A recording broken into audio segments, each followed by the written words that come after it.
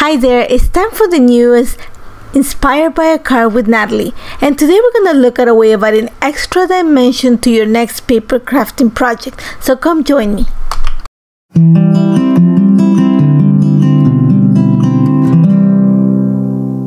Hi there, this is Nathalie, and I am so glad you're here for a new episode of Inspired by a Card with Nathalie.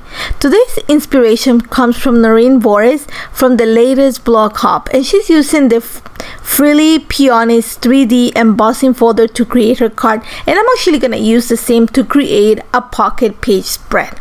So I'm gonna start by actually uh, creating the embossing um, piece of uh, paper. Now if you see her Norine's card, she actually embossed the cardstock. This is color cardstock that she used and then apply color after. I want to start giving it the extra dimension as um, from the beginning. So my choice is to actually color use first of all I'm using color cardstock but I'm gonna add extra color onto my folder just to give it like I said that extra dimension. So for this I am using this is frosty pink pigment ink and you see that I'm using a brayer to kind of apply the ink to the top uh, flap or um, yeah the top flap of the folder.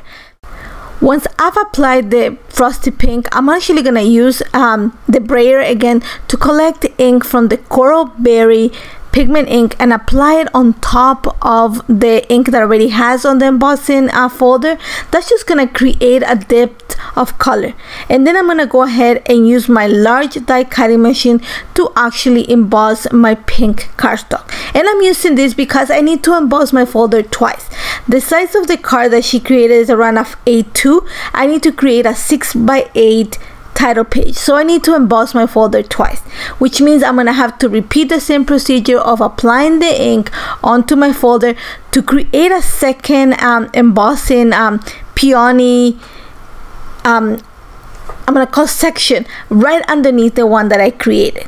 And I want to make sure that when I create my embossing like my second embossing area it actually has a different look. So I'm gonna flip the folder a bit so that I have two different sides of the embossing folder in one single strip now here you're gonna see already that I started with pink cardstock so that already when I added the ink and I embossed it the soft pink is gonna create already there's a level of dimension. Now I'm gonna add that extra dimension. And for that I am actually adding a little bit more of coral berry.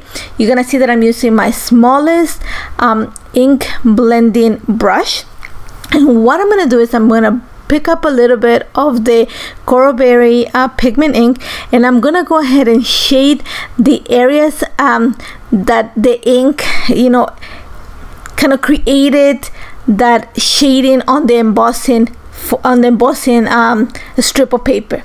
And that's pretty much the areas that are deep into the page. So you're gonna see that by me adding the little bit of ink I'm just making sure that all the areas that were embossed just pop and I'm gonna go ahead and it's gonna take you some time. I'm gonna make sure that I add my ink in all those little crevices.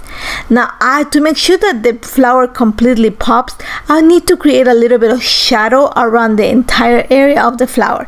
Again I'm gonna use the same method of picking up some of the ink but this time I'm gonna use a little at the bigger brush just because I have a larger area and I'm just gonna make sure that I go with the small details with my small brush.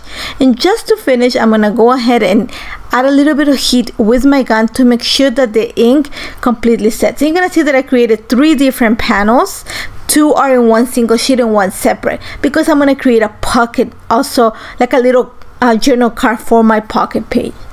Now, like I said before, I am creating a 6 by 8 spread. So I need to make sure to cut a piece of cardstock that is going to fit to 6 by 8. I am using one piece of paper from the Celebrate collection uh, from Altenew. And I'm actually um, I was inspired by the look of Norine's card because she picked something that actually had the two tones of the colors that she used in the embossed area. So I went and did the same. And that's why I picked the, this paper because it had the same tones plus a little bit of orange and a little bit of green.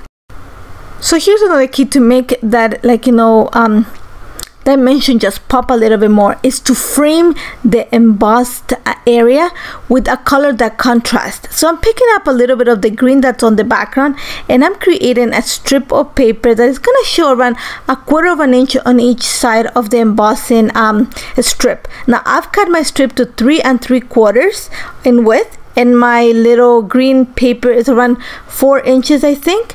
So it's gonna see just a little bit of the green pop but it's gonna be enough to make everything just pop.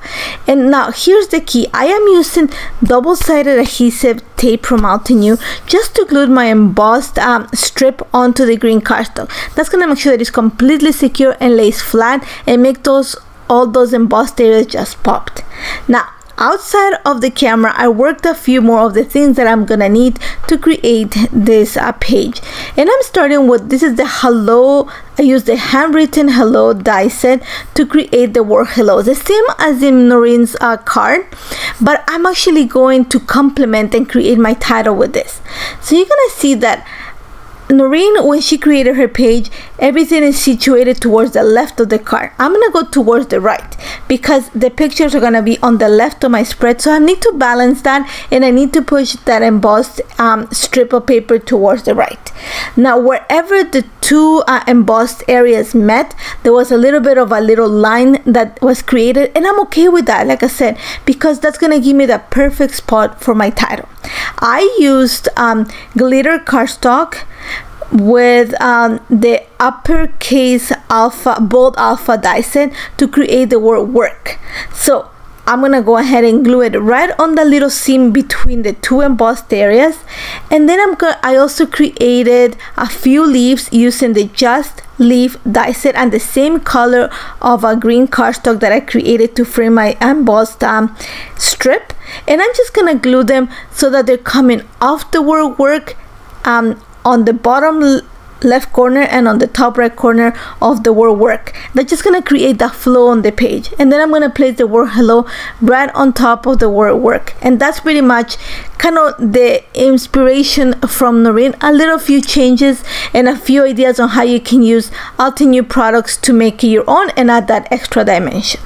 Now because I'm creating a pocket page I need to bring some of the inspiration from the title page onto my pockets. So I created a third embossed um, area with the Freely Peonies embossing um, folder. And I'm gonna go ahead and actually fussy cut a little bit of the flower from the paper.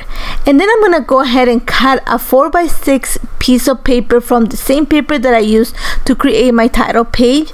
And all I'm gonna do is make sure that the part the fussy cut part of the embossing uh, flower or the Freely Peonies sits inside of the 4x6 card. Now once I have it in place I'm actually gonna go ahead and trim the excess. That means that you're gonna have this little floral kind of embossed popping from the flat journaling card. And you're just gonna that's gonna create that extra uh, dimension and tie the two sides together. Now I'm also gonna bring a few of the little leaves that I created. I'm gonna pick I'm gonna kind of stuff them underneath tack them underneath the flower just to marry the two sides together. And now here's what I'm gonna add like make it a journal card. I'm gonna go ahead and use the snapshots stamp set and a little bit of obsidian ink just to create a little title. That's just gonna give me a space to add my lines to journal. And then you're gonna see that pretty much I'm just gonna add a few embellishments the same as Norine did a few enamel dots. And that's about it I love how this turned out. It was fun. It did take some time, but I love the fact that I just make that embossing folder really pop. The dimension pops in this page. And it was very simple to create a little bit of work, but it was great to be inspired by a card and create a different project. As always, if you have any questions, don't hesitate to contact me and I look forward to seeing you in the next episode. Take care, guys. Hello, crafters. I hope you enjoyed that video. If you want to see more, don't forget to subscribe to our YouTube channel and hit the notification bell so you don't miss anything. Thanks for watching!